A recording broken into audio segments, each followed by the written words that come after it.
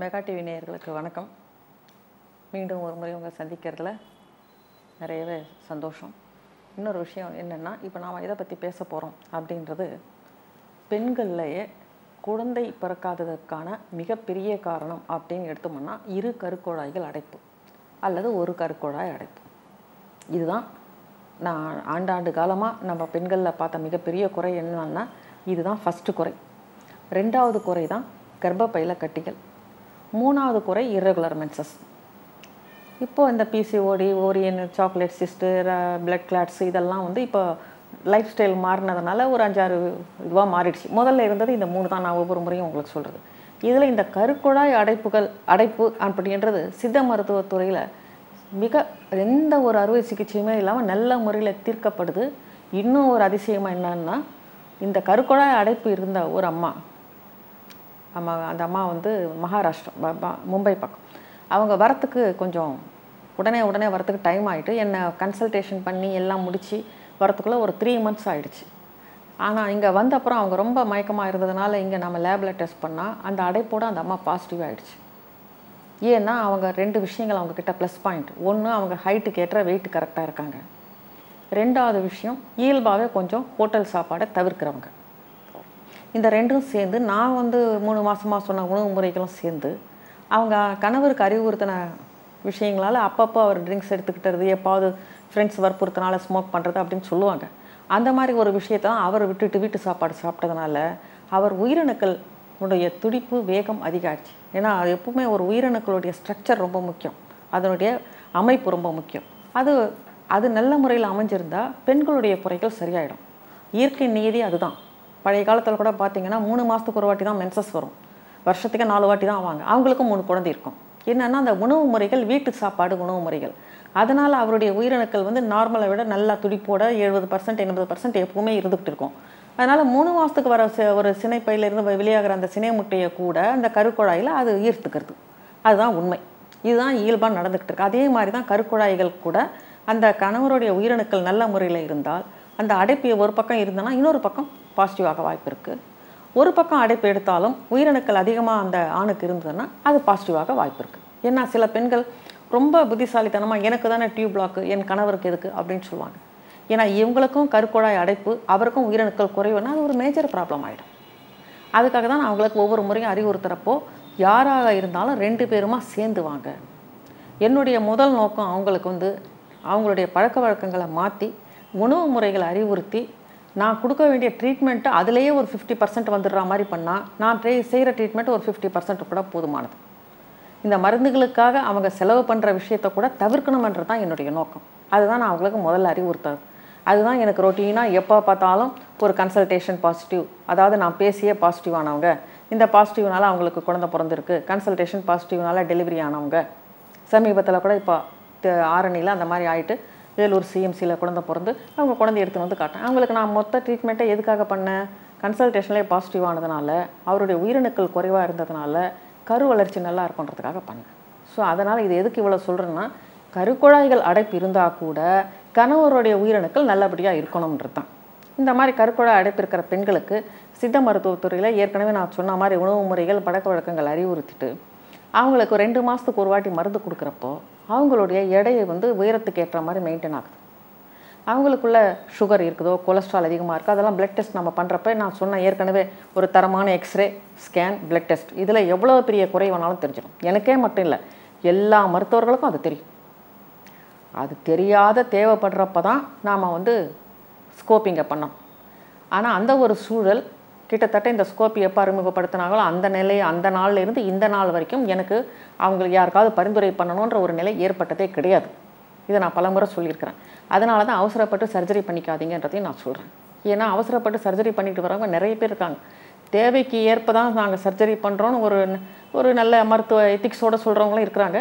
ஆனால் தேவையில்லாமல் பண்ணுற எத்திக்ஸ் இல்லாமல் மருத்துவர்களையும் நான் பார்த்துக்கிட்டு தான் இருக்கிறேன். ஸோ அதனால் நீங்கள் இந்த தரமான எக்ஸ்ரே நல்ல ஸ்கேன் ஒரு பிளட் டெஸ்ட் இதை பண்ணிக்கிட்டு உங்கள் உயரத்துக்கு ஏற்ற எடையை நீங்கள் மெயின்டைன் பண்ணிட்டு பண்ணிவிட்டு சிகிச்சை செய்கிறப்போ சித்த மருத்துவத்தில் ஒரு கொள்ளு என்றது ஒரு சிறந்த மருந்து.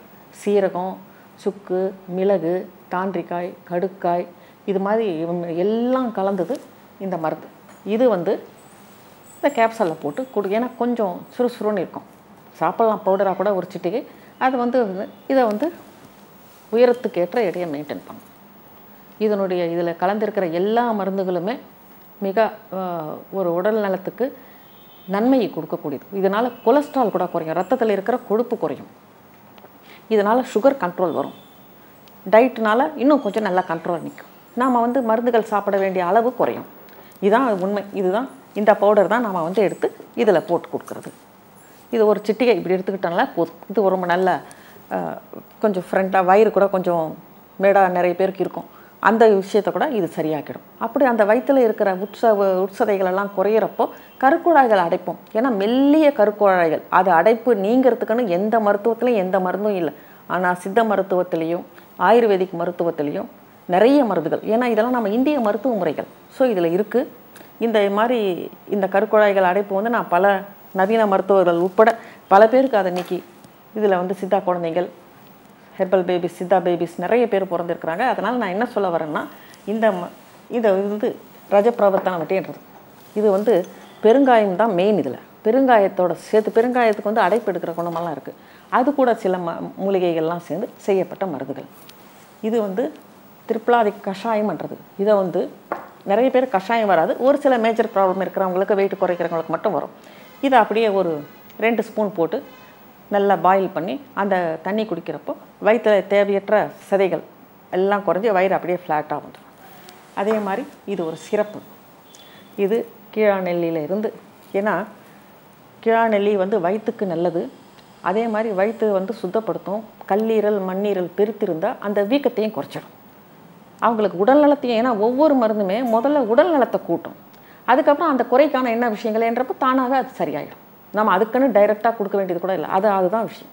ஆனால் அது வந்து சிதையடைப்பு கல்லடைப்பு இப்படி நிறைய விஷயங்களுக்கு அந்த மருந்துகள் இருக்குது ஏன்னா ஒரு பற்பம் நண்டுகள் பற்பம்னு ஒன்று இருக்குது அது ரொம்ப சிரமம் தயாரிக்கிறது. நான் ஏற்கனவே உங்களுக்கு சொன்னேன் இல்லையா? இந்தியன் மெடிக்கல் ப்ராக்டிஷனர் கோஆப்ரேட்டிவ் சொசைட்டின்னு அது ஒரு சொசைட்டியில் அதை வந்து நிறைய மருந்துகள் டிமாண்ட் அவங்கக்கிட்ட ஆனால் அவங்க கரெக்டாக மருந்துகள் ரா மெட்டீரியல்ஸ் இருந்தால் மட்டும்தான் தயார் பண்ணுவாங்க.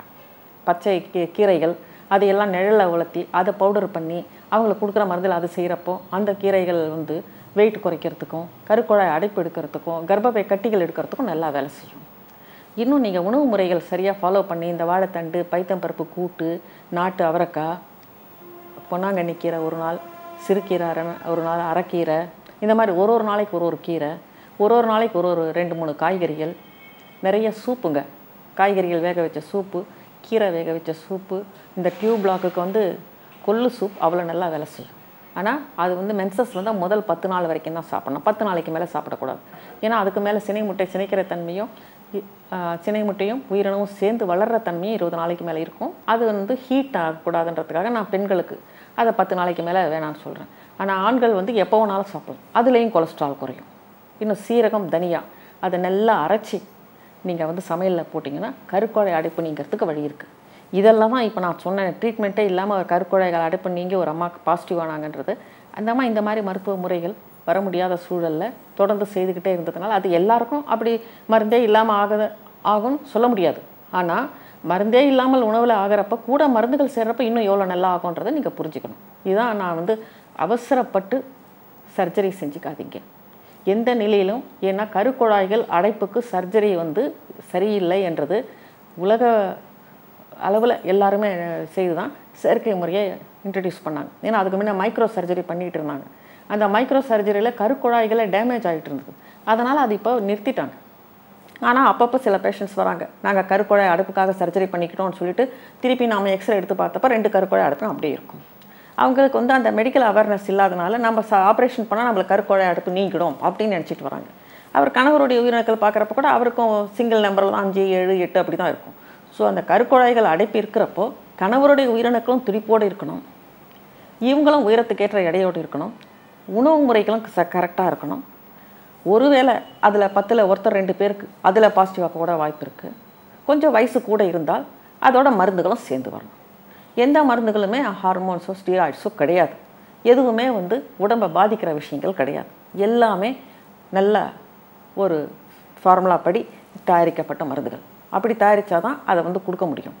ஸோ இதை புரிஞ்சுக்கிட்டு உங்களுக்காக நீங்களே ஒத்துழைப்பு கொடுத்து உங்கள் உடல் நலத்தை உயரத்துக்கு ஏற்ற எடைய உணவு முறைகள் எல்லாம் மெயின்டைன் பண்ணிட்டு வந்தீங்கன்னா கொஞ்ச நாள் இப்போ எல்லா மருத்துவர்களையும் உடனே பார்த்தாகணுன்ற அவசியம் கிடையாது. கொஞ்ச நாள் இதை நீங்கள் சாப்பிட்டீங்கன்னாலே உங்களுக்கு பாசிட்டிவ் ஆகிற வாய்ப்பு அதிகரிக்கும். அப்போ ட்ரீட்மெண்ட் எடுக்கிறப்ப என்ன ஆகும்னா நாம் எவ்வளோ டைம் ட்ரீட்மெண்ட் கொடுக்குறோமோ அவ்வளோ தேவைப்படாது. இதுதான் உண்மை. இதுதான் நான் உங்களுக்கு பல எப்பப்போ நான் இதில் நான் இந்த நிகழ்ச்சியில் பேசுகிறேனோ அது சொல்கிறது எல்லாமே நான். இ- இயற்கையான முறையில் இல்லற வாழ்க்கையில் ஈடுபட்டு உடல் நலத்தோட உங்கள் சொந்த குழந்தைய நீங்கள் பெற்றுக்கணும். அதற்கான வழிமுறைகள் தான் நான் இவ்வளோ நேரம் பேசுனது. ஐயோ கருக்குழைகள் அடைப்போ அவ்வளோதான் நம்ம உடனே சர்ஜரிக்கு போகணும். ஐயோ கருக்குழைகள் அடைப்பா அவ்வளோதான் நம்ம எத்தனை எவ்வளோ செயற்கை முறைகள் பண்ணிக்கணுமோ அவ்வளவும் பண்ணிக்கணும். அப்படியெல்லாம் ஒரு போங்க அது நவீன சயின்ஸ் வந்து நாம் என்கரேஜ் பண்ணணும் உண்மைதான். ஆனால் எளிய முறை இருக்குதுல்ல? அதை முதல்ல ட்ரை பண்ணி பார்த்துட்டு அதுக்கப்புறம் போங்க. ஏன்னா நிறைய பெண்கள் எங்களை எங்கள் மாமியார் இல்லை எங்கள் இப்படி பேசுனாங்க எங்கள் சொந்தக்காரங்க இப்படி பேசுனாங்க அதனால் நான் உடனே நேராக போயிட்டேன் அப்படின்லாம் சொல்கிறதுக்கு அடுத்துக்கினே சொல்லுவாங்க. அது வந்து உணர்ச்சி வசப்படாதீங்க. அந்த உணர்வு தூண்டி பேசுகிற விஷயங்களை காதில் வாங்கிக்காதீங்க. காரியத்தில் கண்ணாயிருங்க. அந்த காரியம் என்ன? நம்ம வந்து வெயிட் அதிகமாக இல்லாமல் உணவு முறைகள் சரியாக ஃபாலோ பண்ணிக்கிட்டு நல்லா நம்ம கணவருக்கு ஏதாவது பேட் ஹேபிட்ஸ் இருந்தால் அதை வந்து அவருக்கு நல்ல முறையில் சொல்லி அதெல்லாம் தேவையில்லாத விஷயங்கள் செய்யாதீங்கன்னு சொல்லிவிட்டு நாம் உடம்பு விளைஞ்சி மூணு வேளையும் ஃப்ரெஷ்ஷாக சமைச்சு இது மாதிரி சாப்பிட்றப்போ ஒரு சில டைம் ட்ரீட்மெண்ட்டே தேவைப்படாமல் போகலாம். ஒரு சில டைம் ட்ரீட்மெண்ட்டுடைய அளவு யார் கொடுத்தாலும் நானே இல்லை யார் கொடுத்தாலும் கொஞ்சமாக தேவைப்படும்.